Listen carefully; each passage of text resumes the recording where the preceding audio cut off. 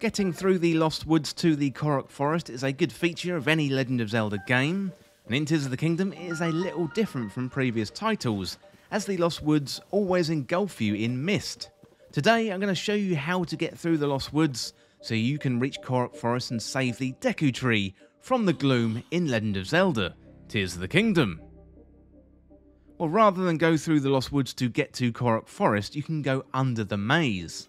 So if you try to go through the Lost Woods to get to Korok Forest, the mist will keep getting you and you won't be able to get to Korok Forest. So what you want to do is go underground and go through the depths. Okay, let's have a closer look at how to get through the Lost Woods. So there's a chasm very close to the Lost Woods called the Minshi Woods Chasm, and that is located at the coordinates 1063, 1655, 0167, you can get there by going to the Eldin Canyon Skyview Tower, jump off the tower, go to the left and make your way to the Minshi Woods, open up the map and then place a marker on Korok Forest, and that is at the centre of the Lost Woods. You can then use that marker to guide you when you are down in the depths. So once you place the marker, dive into the chasm and head towards the marker you just placed. Use Bright Bloom Seeds to light up the depths to help you see where you're going, and avoid the gloom on the ground and climb into the trees if necessary and jump from tree to tree. You're looking for the Rikko-Nassum lightroot. If you follow your marker you placed on Korok Forest, this should take you directly to that lightroot, but do be aware of the enemies down there, particularly the Gloomhands if they appear. They are really, really dangerous enemies. So I jumped into the trees and the Gloomhands just went away, so I think that's probably a good way to do it. Next to the Rikko-Nassum lightroot, there will be a concrete ceiling, and you can ascend up into Korok Forest. Okay, next up we want to save Korok Forest. So Korok Forest is not the bright and vibrant place we remember. It's dark and it's dank because there's something wrong with the Deku Tree and all the Koroks.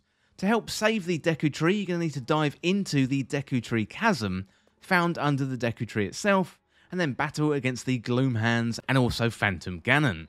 Before jumping down into the chasm, I do recommend preparing, as it can be quite a tough fight. So you want to fuse weapons to make good blades to fight with.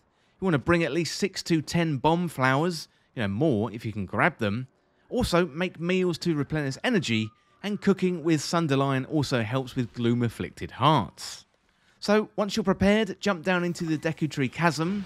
First of all, you're going to need to defeat the Gloomhands, so take them out with the bomb arrows by attaching bomb flowers to the arrows. If you shoot into the middle, you should be able to hit multiple hands at the same time, and this should take roughly 5 or 6 bomb flowers to kill them all. Then you have to face Phantom Ganon. This is all about dodging, parrying, and flurry rushing Phantom Ganon. So he'll come towards you, raise his sword for a second, and then he'll strike. What you want to do is either parry or dodge out of the way using the jump button, and you want to get that perfect timing to get in a flurry rush attack. This is going to cause the most damage. You can also parry, as I mentioned, although I found the Flurry Rush was much better for damage. Do this a few times, avoid the Gloom and defeat Phantom Ganon, and you're going to remove the Gloom from the Korok Forest, save the Deku Tree, plus also Phantom Ganon will drop a really, really nice sword, and also a really good bow as well. Once you save the Deku Tree, you get a nice cutscene with Link and Zelda in Korok Forest, and then the Deku Tree is going to mark the location for the Light Dragon on your map, and you'll get the quest Recovering the Hero Sword. And then you are free to go and get the Master Sword. Well, that is it for this guide for how to get through the Lost Woods to Korok Forest in Zelda Tears of the Kingdom. And as always, thank you so much for watching or listening. For more Tears of the Kingdom content like this, hit that subscribe button down below and subscribe to Triforce Times. Or you can check me out on Twitter at Triforce Times. Well, if you enjoyed this video or found it useful, liking and sharing the video would really help me out. Otherwise, check out all the other videos for Tears of the Kingdom on the channel. Thanks again, I'll see you soon.